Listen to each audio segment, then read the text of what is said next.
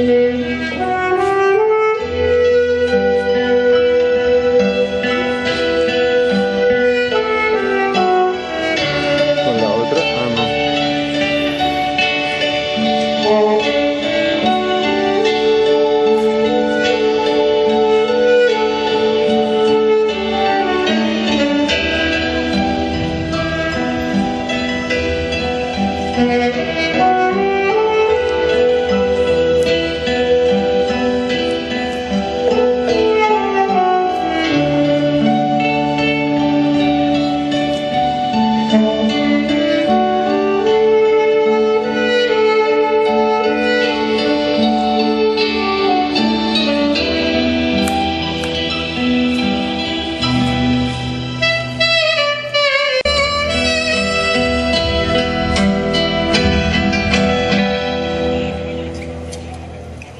Segunda estación.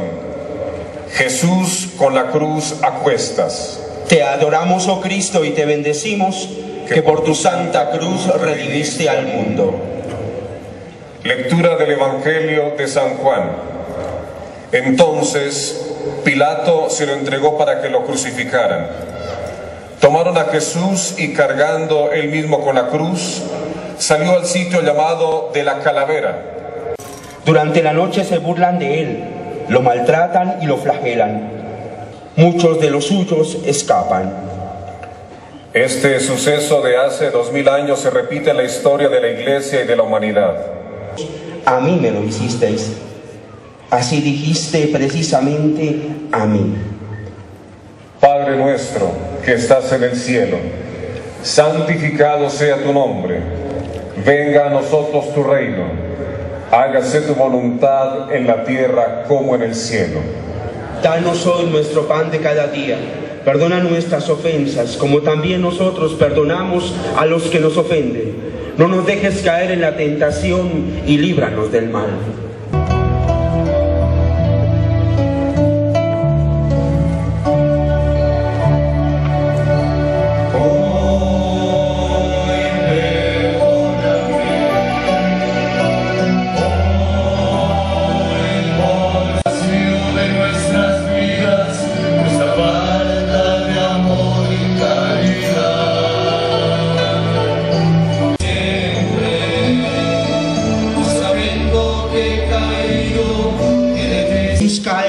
Primera vez, Te adoramos, oh Cristo, y te bendecimos. que por tu santa cruz redimiste al mundo.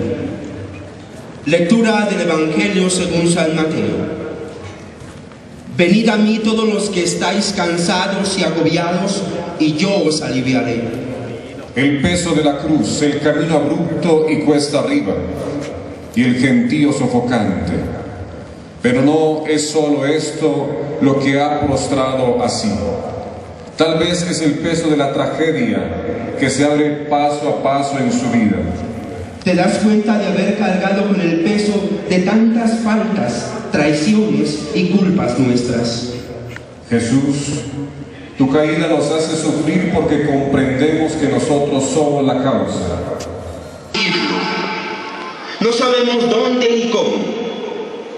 Jesús, lo mejor que se puede hacer es ir tras de ti, ser dócil a lo que nos pides. Tantas familias lo pueden confirmar por la experiencia directa. No sirve rebelarse, conviene decirte sí, porque tú eres el Señor del cielo y de la tierra. Cuando se debe tomar una decisión importante, si la paz habita en el corazón, si se está atento a percibir lo que Dios quiere de nosotros, somos iluminados por una luz que nos ayuda a discernir y a llevar nuestra cruz.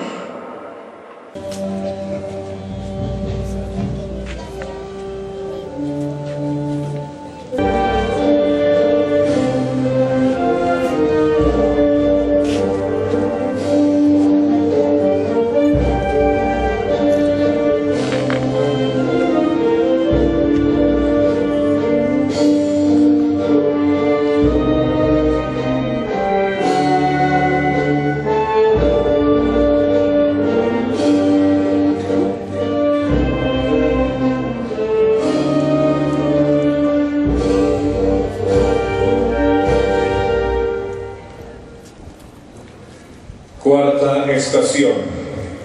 Jesús encuentra a su madre. Te adoramos, oh Cristo, y te bendecimos, que por tu santa cruz redimiste al mundo. Lectura del Evangelio de San Juan.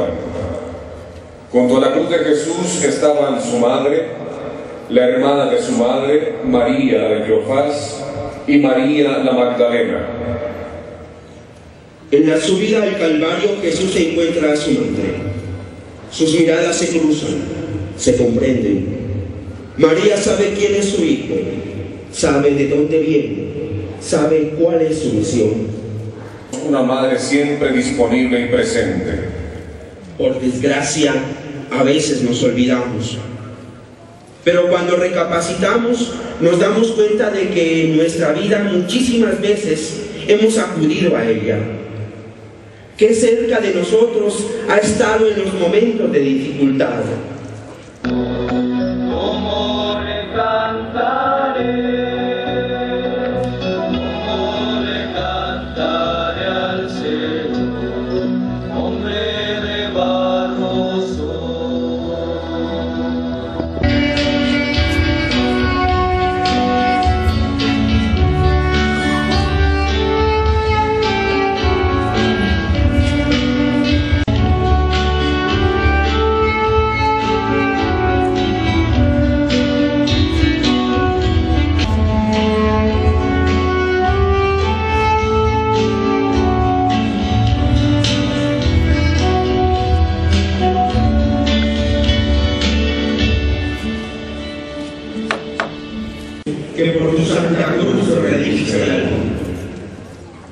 Lectura del Evangelio de San Lucas.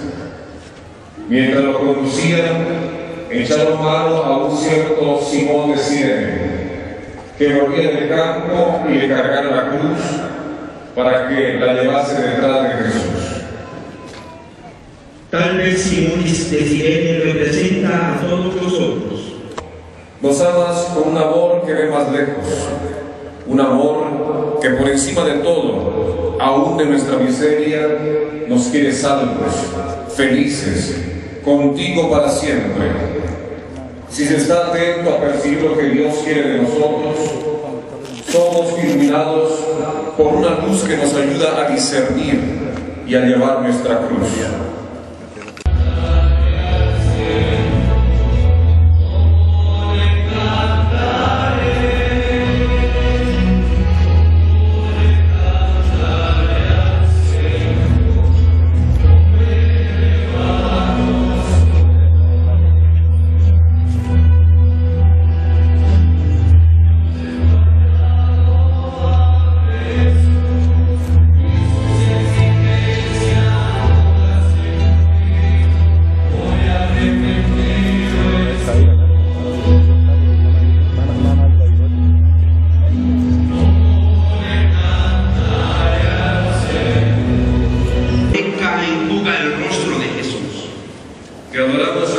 Te bendecimos. Dios que dijo, brille la luz del seno de las tinieblas, ha brillado en nuestros corazones, para que resplandezca el conocimiento de la gloria de Dios, reflejada que ha intuido quién es Él, que lo ama. Recordamos de que en cada uno de nuestros hermanos necesitados te escondes tú, Hijo de Dios. Qué distinta sería nuestra vida si lo recordáramos. Poco a poco tomaríamos conciencia de la dignidad de cada hombre que vive en la tierra. Toda persona, bonito o feo, rico o pobre, que acaso no, desde el primer instante del vientre de la madre o tal vez anciana, te representa Jesús.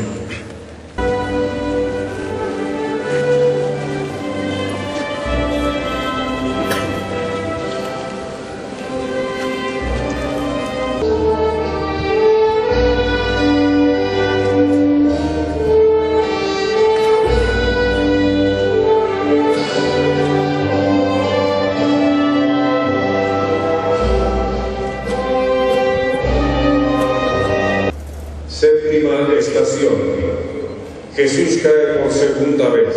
Te adoramos, oh Cristo, y te bendecimos, que por tu santa cruz redimiste al mundo. Lectura de la primera carta del apóstol San Pedro. Él llevó nuestros pecados en su cuerpo hasta el niño, para que muertos a los pecados, Algo íntimo y profundo que se hace sentir más plenamente a cada paso.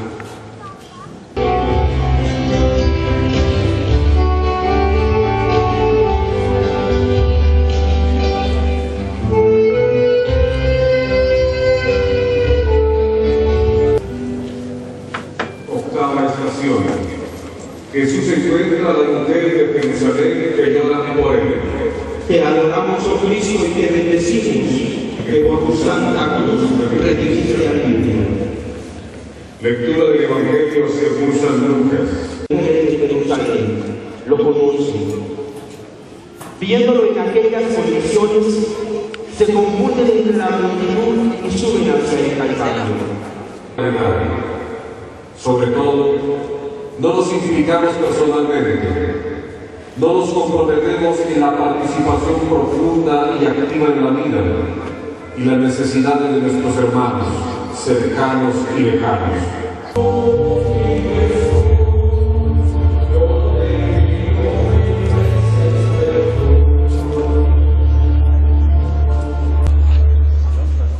Novena estación. Jesús cae por tercera vez. Te adoramos, oh Cristo, y te bendecimos, que santa cruz redimiste al mundo. Lectura del Evangelio según San Lucas. Vosotros sois los que habéis perseverado conmigo mis pruebas. Cae Jesús por tercera vez. Parece sucumbir. Pero he aquí una extrema fatiga de volverse a levantar. Es la iglesia. Con estos hermanos nuestros en el corazón, queremos ofrecer nuestra vida. Ha encontrado la fuerza de volverse a alzar y reemprender el camino. También las familias son parte de este tejido deshilachado.